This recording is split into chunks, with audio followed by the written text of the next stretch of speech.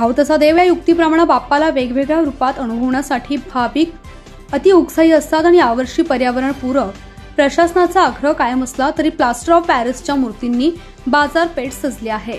याचबरोबर शाडूच्या मूर्ती देखील बाजारात उपलब्ध झाल्या आहेत आणि बाप्पा प्रेमींचा घरातील आरसई आणि जागा आणि मखराची उंची याशिवाय खिसाचा अंदाज घेत मूर्ती खरेदी करण्यासाठी नागरिकांचा कल दिसतोय.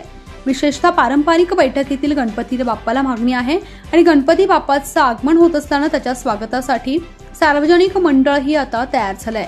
काही वर्षांपासून पर्यावरण संवर्धनासाठी शाडूची मूर्ती वापरण्यासाठी प्रबोधन करण्यात येत आहे आणि ग्राहक वर्गाकडूनही त्याला चांगलाच प्रतिसाद मिळतोय.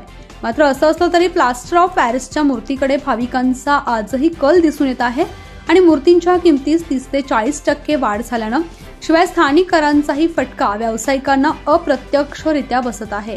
माती कच्चा माल आणि इतर साहित्य यांवरील करत तसेच मजुरी वाहतूक खर्च यामुळे यावर्षी बाप्पाच्या किमतीत वाढ झालेली पाहायला मिळते सध्या बाजारपेठ कमल गणेश पेशवा शेषधारी बालगणेश बालाजी लालबागचा राजा दगडूशेठ हलवाई सिद्धिविनायक अशा मूर्ती याशिवाय बाजारपेठेत गणपतीला लागणाऱ्या एकवीस भाज्या पाच फळे आणि नागिनीची पाने नारळ दुर्वापत्री वेगवेगळ्या लागणाऱ्या सजावटींच्या वस्तू आणि हरतालकं असताना महिला वर्गानं पूजेचं साहित्यांसह उपवासाचं फराळ खरेदी करून भगवान शंकरांच्या मंदिरात पुरोहितांच्या साक्षीनं मनोभावे पूजा केल्याचं चित्र पाहायला मिळत आहे